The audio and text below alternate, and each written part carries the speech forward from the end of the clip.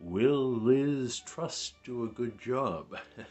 well, obviously, it's been a momentous week for us here. We have a new king, our queen having died yesterday, only two days after Liz Truss became prime minister, after having beaten uh, Rishi Sunak in an election by uh, Tory party members. The uh, various debates and meetings accompanying the election contest have given us some inkling of what, what, what she's uh, like, what she might be like as a prime minister, and the likelihood of her uh, doing a good job. The challenges look, a, a failing economy, a nearby war, the aftermath of an unprecedented pandemic are clearly enormous challenges for anyone.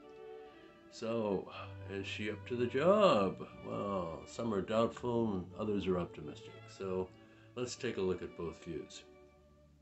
First of all, those who say yes, she is up to it.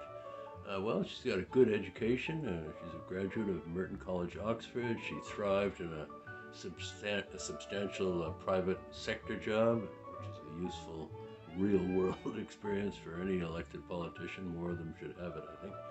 Uh, she has considerable experience of government. She's had uh, six ministerial jobs under three different prime ministers, including foreign secretary.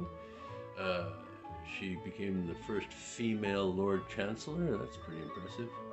Uh, she beat Rishi Sunak in the leadership elections, a very talented candidate. And in the several televised debates, she presented herself as someone with plans, ideas, and a game plan for the overwhelming challenges that we face as a nation. It'll be tough, but she'll do as good a job as anybody could. Well, what about those who say no, uh, she's probably not suited, she won't do a good job? Well, just to begin with, she's in an impossibly uh, difficult situation.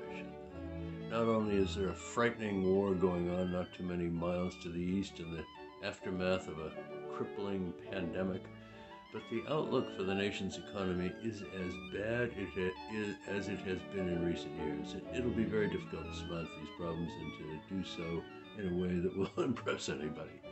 Uh, perhaps impossibly difficult. Uh, she is seen in some quarters as a creature of the far right, even a fascist to some. And uh, a view like that is clearly out of step with, the, with that of the general population. And such an image will make it difficult for her to bring the nation along with her. Uh, she had an affair with an MP, Mark Field, uh, which was not disclosed, by the way, when she was endorsed as a candidate. Uh, her husband uh, may have forgiven her, but for many people, adultery is unacceptable behavior, and, and that will further diminish her ability to, to lead the nation.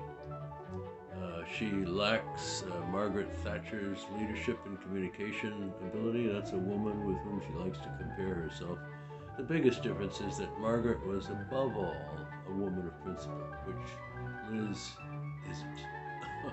Having demonstrated her ability to flip flop on issues like Brexit when, when seen to be to her advantage, much in the style of the fabled Vicar of Bray. Uh, Google that if you don't know that story. That's a good one. Uh, yesterday, less than 48 hours after she took office, a big poll revealed that a, quite a, a large share of the public think that, that Sir Keir Starmer would do a better job as Prime Minister.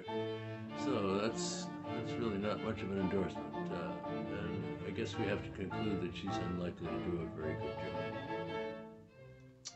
Well, what's my take on all of this uh, situation? Uh, Liz has already put down her marker as a populist, promising huge funding for household energy relief. The cost is enormous and perhaps unaffordable, um, and thus much depends on the Chancellor's plan to fund it, which is promised shortly. Liz is clearly an opportunist without probably real principles, making it harder to opine her strategy for surviving the perfect storm of problems she faces. Incidentally, she could do herself a big favor and strengthen her reputation by cracking down on the appalling tax dodging atmosphere in London and among Tory party contributors and those that protect offshore tax havens. She probably won't. The fact that she was selected by the rank and file of the uh, Tory party means little. Uh, those voting represented less than 1% of the British electorate, Also, they seem to prefer Boris, a liar, a narcissist, and an incompetent manager. It's not an encouraging picture, and I'm not terribly optimistic, but I wish it well. Well, any of you aren't going to like that, but that's how I come out. Uh, and uh, you might take a look at some of uh, similar uh, views and other videos of mine, and in any case, please subscribe.